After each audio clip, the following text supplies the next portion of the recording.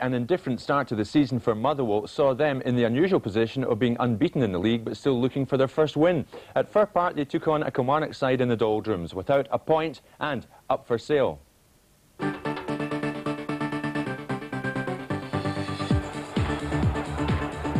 Kilmarnock, determined to get their first league points of the campaign, came closest to scoring in the early exchanges.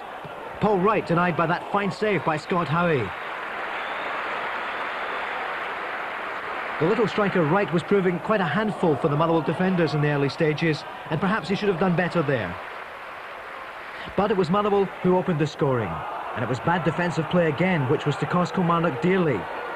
As they've done so often this season, they failed to clear their lines.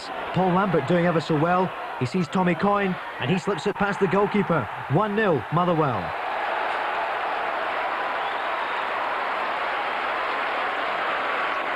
Six minutes into the second half, and Motherwell effectively sealed the tie.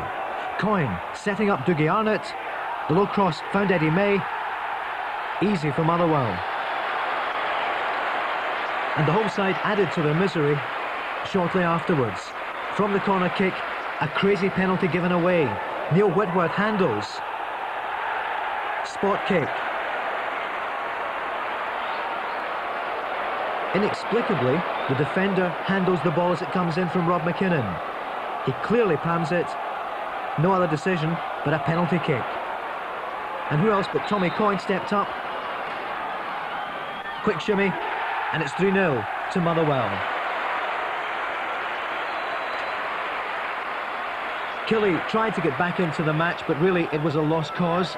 But you can't fault Tom Brown for effort. Good work in the midfield, getting the return ball, but no problem there for Scott Howie. Then in the final minute of play, some more action. But sadly for Kilmarnock, no consolation goal. It was a well-worked move though, starting with Lekovic, seeing a space down the left. Gary Holt going on the overlap. Tom Brown is always getting into good position. He gets in the header, but just over the bar, touching the crossbar. No joy for Kilmarnock.